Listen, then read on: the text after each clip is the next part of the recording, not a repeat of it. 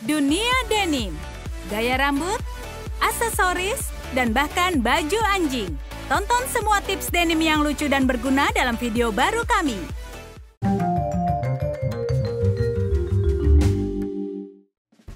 Selamat datang di toko baju Denim Perfection. Ini desainer mode denim kita, Alex. Dia bisa lakukan segalanya.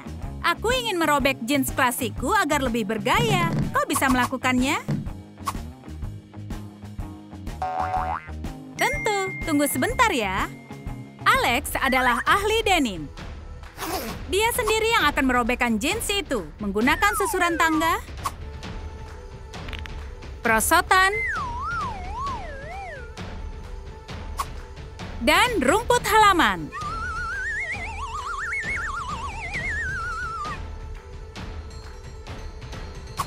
Ayo tambahkan efek jalanan.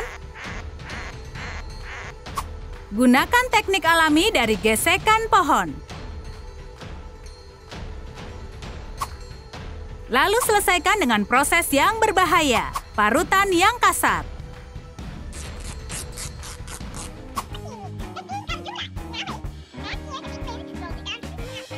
Nona, pesananmu sudah siap. Lihat karya terbaikku ini.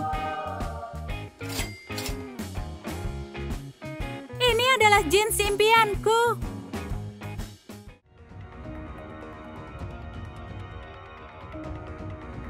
Apa kau membawa yang aku minta? Iya, di dalam sini ada 20 juta tunai. Tunjukkan produknya. Biar aku periksa.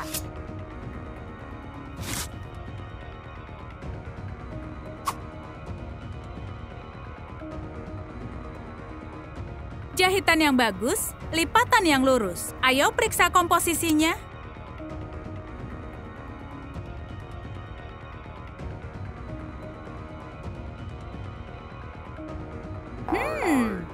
Tebal dan murni tanpa tambahan apa pun. Jeans yang bagus sekali. Transaksi jadi. Aku mau potongan rambut yang baru. Kau datang ke tempat yang benar. Alex si penata rambut tahu cara mengejutkan pelanggannya. Whoops, terjadi kesalahan. Ini seperti Bellatrix Lestrange. Jangan panik, tutup matamu, akan kulakukan sihirku. Gunting jeans usang menjadi potongan panjang. Rekatkan ke sebuah topi tanpa pelindung depan. Bentuk seperti wig. Tutupi tengahnya menggunakan potongan denim dengan jahitan. Buat kepang dari helaian jeans. Selipkan cincin pengait, lalu hiasi dengan manik-manik.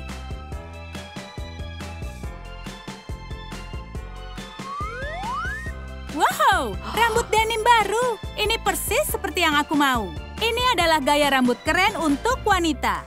Alex, kau ini jenius. Phew.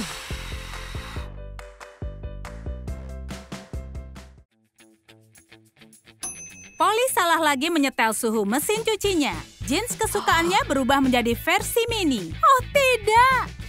Aku harus melonggarkannya lagi. Alex, ayo. Kayu pedalnya sekencang mungkin. Kita sudah memelarkan beberapa sentimeter kain denim. Polly, jangan berhenti.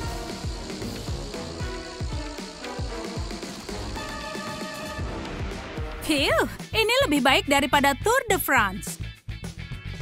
Oh tidak, kita melakukannya terlalu banyak. Sekarang jeansnya kebesaran.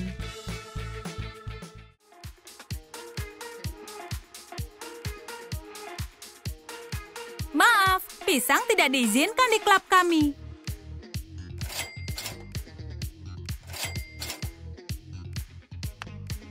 Tapi Polly tidak menyerah. Dia membuat wadah pisang yang istimewa. Gunting dua bentuk pisang dari kain jeans yang usang. Rekatkan ke kain felt untuk membuatnya lebih tebal. Potong seluruh sisinya berbentuk zigzag. Rekatkan resleting pada kain denim di atasnya. Lem semua bagian membentuk tas pinggang. Buatlah irisan. Selipkan cincin dengan pengait sebagai pegangan. Lakukan hal sama di sisi satunya. Tambahkan rantai dan hiasan berbentuk pisang. Wow, tas pinggang yang sangat bagus. Silakan masuk. Terima kasih.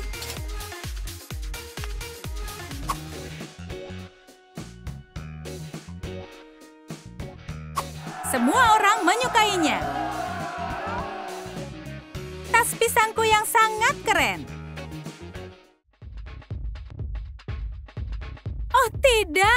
Rompi denimku menciuti mesin cuci. Apa yang harus kulakukan? Terlalu kecil untuk Alex, tapi aku punya teman lain. Potong lengan jaket denim yang usang. Potong penutup saku di bagian depan. Potong dan jahit lagi untuk menciutkan rompinya.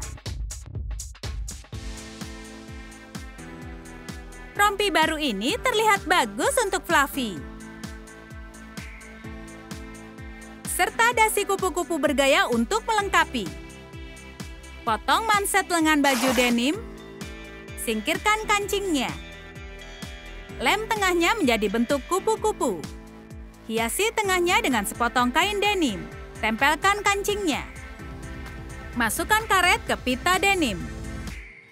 Lalu rekatkan ke dasi kupu-kupu. Fluffy tampak seperti pria sejati, anjing yang sangat bergaya. Ini hari ulang tahun Polly. Tapi si pirang benar-benar lupa. Whoops, aku segera kembali. Aku perlu hadiah yang cepat dan terjangkau. Tapi aku hanya punya jeans yang usang. Itu bagus, aku tahu yang harus kulakukan. Buat rumbai pada pinggiran sepotong kain denim menggunakan gunting kecil. Rekatkan kancing pengait perhiasan, buatlah lubang. Masukkan tali sepatu.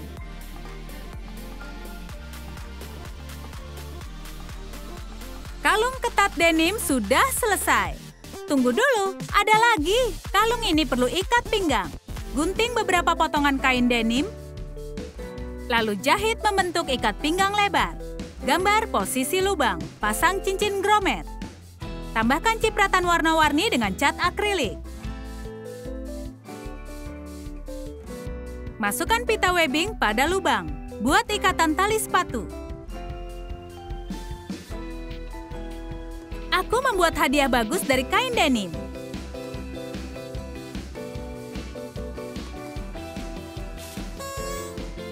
Polly, selamat ulang tahun. Ini aksesori paling bergaya untuk baju yang paling bergaya. Sekarang Polly bisa ke pesta denim. Penampilannya sangat keren.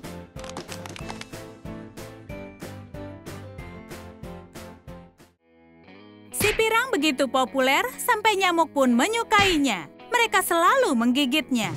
Tapi Polly tahu cara membantu temannya. Jaket denim multiguna miliknya akan menyelamatkan hari ini. Potong lengan baju denim.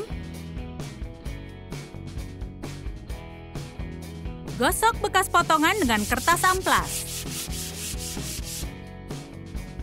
Cat tekstil potongan lengan baju secara gradasi jingga dan kuning. Sambung dengan peniti. Buat tulisan di belakang. Warnai tulisan dengan cat tekstil. Bagian lengan yang bisa dilepas menjadi penghangat kaki yang bergaya. Sekarang kaki si pirang aman. Terima kasih ya. Oh tidak, sekarang nyamuknya pindah ke poli. Jeans mana yang harus kupilih? Jeans putih atau hitam? Kau lebih suka yang mana? Terang atau gelap? Kenapa harus memilih saat bisa dapatkan kedua-duanya? Potong celana jeans lama, jadikan celana pendek. Masukkan separuh celana ke dalam wadah. Rendam dengan pemutih. Tunggu sampai kain menyerapnya. Celana pendek berwajah dua ini untuk orang yang tidak bisa memutuskan. Pakai dua warna sekaligus tanpa perlu khawatir.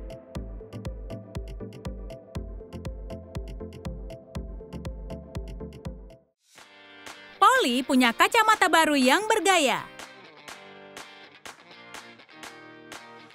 Bagus pastinya, tapi kacamata denimku adalah tren terbaru. Lepaskan lensa dari kacamata hitam. Bungkus bingkainya dengan kain denim. Pasang kembali lensanya. Hiasi dengan paku hias. Hei, lihat kacamataku. Terbuat dari kain jeans. Whoops, aku tahu celana mana yang kau pakai untuk membuat kacamatamu. Kau benar-benar penuh usaha, fashionista. Suka ide denim kami? Beri komentar mana yang akan kalian tiru. Gaya rambut denim atau tas pinggang denim? Jangan lupa untuk beri suka pada video ini. Berlangganan saluran kami dan klik belnya agar tak ketinggalan ide denim yang baru dari Trum Trum.